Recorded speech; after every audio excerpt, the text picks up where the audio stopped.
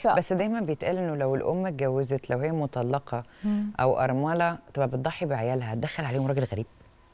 إيه بقى؟ طيب طيب أول حاجة أنا مالي أنا ما يخش راجل غريب. بالظبط. لا هو أول حاجة إنه آه، فكرة إن إحنا دايما لازم نختار إنه إيه يا ده يا ده. يا ولادي يا جوزي أو يا آه، ولادي يا شغلي أو يا كذا يا كذا. مم. عارفة زي نفس الفكرة بتاعت إنه اقعد ذاكر وما تلعبش رياضة. ليه؟ يختار يا بين ماما وبابا. وألعب. تحب يعني- مين أكتر؟ آه. يعني ممكن أعمل كذا حاجة وأعملهم كلهم كويس. طب ساره أنا عايز أسألك على حاجة. دايما بيقولك إنه إيه غصب عنا ال- الابن ما يستحملش جواز مامته. ما هي دي كلها أفكار مجتمعية مش صح. انت عايزه ماما تتجوز والناس تقول علينا ما يا ماما متجوزة عايزه ماما تخلف. عايزه ماما تخلف وأنا في الكلية كده أنت عايزة الناس تضحك علينا. وأكنها عملت دي بقى المشكلة. Thank you. وأكنها عملت حاجة كبيرة. ليه؟ جريمة. بالظبط. فبالتالي إيه اللي بيحصل بقى؟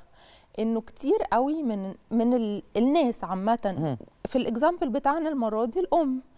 كتير قوي من الأمهات في هذه الظروف آه، مثلا واحدة اتطلق يعني في في, ال- في ال example بتاع رضوى ده هي مامتها اتطلقت من هي من من وهي عيلة صغيرة. يعني الأم نفسها كانت عيلة صغيرة لسه متجوزة آه صغيرة آه، لسه حامل في بنتها الأولانية. يعني دي ما لحقتش أصلا تعيش. دي اتجوزت حملت اتطلقت قعدت تربي البنت وقعدت 19 سنة بتربي البنت ما إحنا بالظبط. مثلا لو قلنا إن هي اتجوزت وهي عندها 20 سنة قولي دلوقتي بقى عندها 39 قولي وهي عندها 21 قولي دلوقتي بقى عندها 40 سنة مش مثلا. حقها إن هي تلحق تخلف تاني وتتجوز وتتبسط. بالظبط كده فالفكرة مم. بقى إنه لأن إحنا عندنا ال concepts دي موجودة في المجتمع أصلا طبعا الأولاد كمان بيبقوا متأثرين بهذه ال concepts أو بهذه الأفكار يعني دايما لما يحبوا يعظموا فعلا من ست زي ما انت بتقولي يا دكتور يقول لك إيه دي قعدت حتى بعد ما جوزها توفى مم. ما اتجوزتش من بعده ليه؟ ليه؟ ما تتجوز يا اخويا من بعدي حتى لو أنا مت حبيبي أو بالظبط. حتى لو إحنا اتطلقنا لا قدر الله إيه المشكلة فين التضحية.